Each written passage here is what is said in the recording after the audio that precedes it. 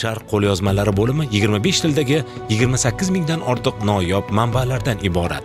Bu yerda tosh bitiklardan tortib sharq uyg'onish davrida yaratilgan noyob kitoblargacha topish mumkin.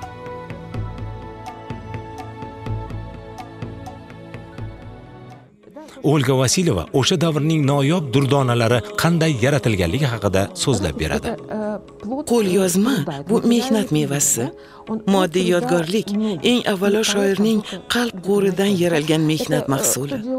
Bu yerda kimdir qog'oz yasagan kimdir ko'chirgan yana birov bo'yoq tayyorlagan boshqasi surat ishlagan muqovasoz sahifalarni muqovalagan.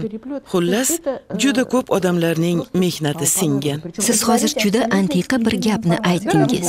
Odatda qo'lyozma abadiy asar sifatida baholanadi. Siz esa birgina sahifa ustida ko'plab odamlar ishlaganligini aytyapsiz.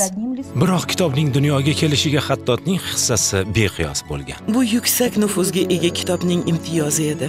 Xattot o'tirib yozishdan avval ibodat qilgan yaratgandan madad so'ragan. Bu o'z vaqtida o'ta ilohiy muqaddas ish hisoblangan. Chunki so'z bu ilohiy tushuncha. Uni qog'ozga tushirish bu hazilakam ish emas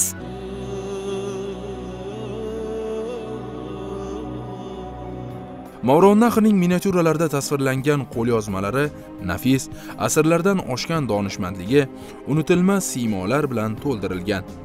Ularning har biri biz uchun o'tmishning buyuk merosini saqlab qolgan kitob san'ati durdonalaridir.